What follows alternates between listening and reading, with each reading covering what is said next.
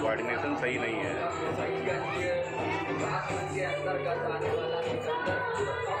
ये अलग जा रही है बिल्कुल